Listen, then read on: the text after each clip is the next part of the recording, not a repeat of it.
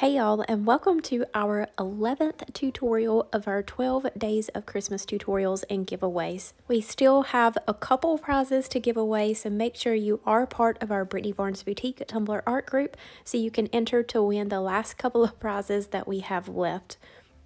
So I made a tumbler for a friend that had a movie logo on it, and it was a really pretty matte tumbler with some foils on there. And how dare me for not recording at least the process up to the decal, right? So I wanted to remake that tumbler since I had so many requests for it, with the exception of the decal. My original tumbler was with the Steel Magnolia morning mug, but this time I am using the 24 ounce travel mug. I have base painted it the Color Shot Matte Black, and I really want to give this a super rustic feel, so I'm going to use this really cheap chip brush and Tack-It rather than using a makeup brush to apply this and the Southern Belle Glitter Foil Glue. The Southern Belle Glitter Foil Glue is extra smooth. It goes on just like butter. So it is absolutely perfect to use if you want some really nice smooth full lines. But in this case where I want it to look rough and rustic, I'm going to use this thicker Tack-It and use the chip brush to apply it. When I'm doing distressing or trying to make something look rustic, I do go a little heavier around the top and the bottom rims because if you think about it, when something gets wear and tear, it does more so along the edges of whatever it is.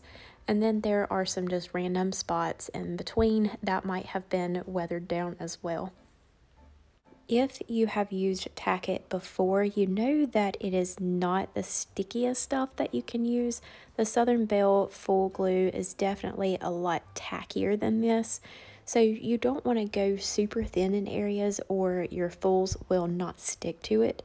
But you definitely do not want to oversaturate it either because it will take quite a while for it to dry and you definitely don't want any wet glues under your foils or epoxy.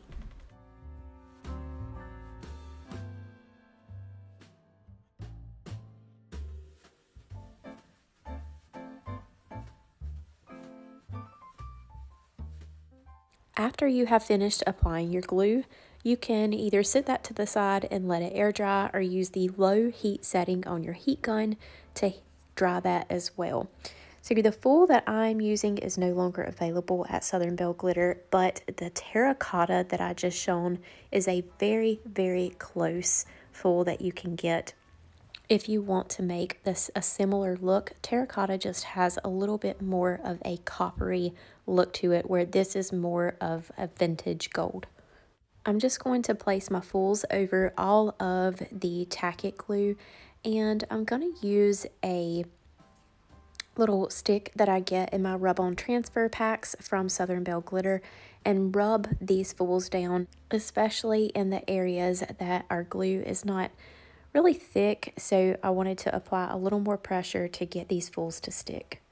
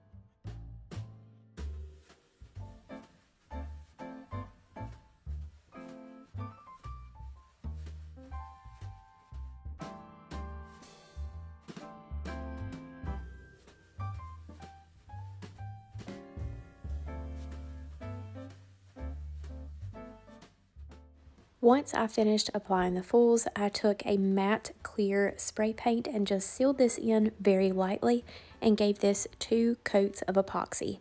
Now at this point you are decal ready so you can add your decal on and then finalize with two coats of epoxy. But since this tutorial is mainly for the design of the tumbler itself and how to matte, we're going to jump right into adding mattify to this tumbler. So you want your tumbler to be very smooth. So this needs to be on a final coat and make sure there's not any lumps or bumps or any divots in your tumbler. You're going to spray that with water or wet it down if you're by a sink. And there are two little scrubbing pads that is offered by Artistry.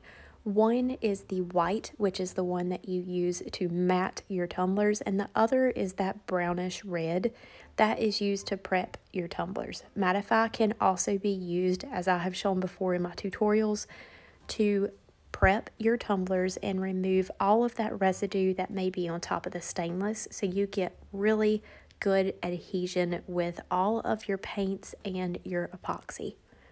So we're just going to take this little pad, add some of the Artistry Mattify to it, and then we're going to scrub around in circular motions in all the areas that will allow. And then I try to go in different directions, like places around the handle and underneath, just so that we can get that circular motion in there and get this nice and smooth. You may wipe off and see that there are still scratches on your tumbler. If you have scratches, you have not scrubbed enough. So you want to scrub with the mattify and the matte pad until you have completely eliminated all scratches and pretty much buff them out until you have a very nice matte finish.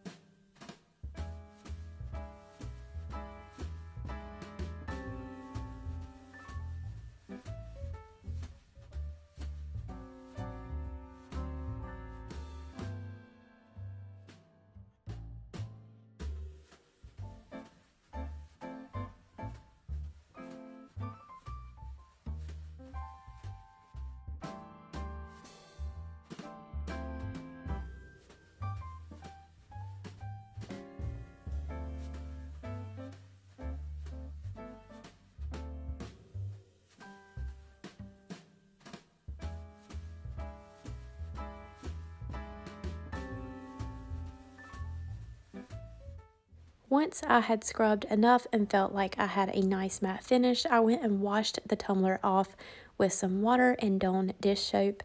I'm going to dry off and as you'll notice in the areas that are still a little wet, it doesn't look like it has a matte finish. So I did take my heat gun on the low heat setting and just dry that up really quickly so you can see it does have to be completely dry to see that beautiful matte finish.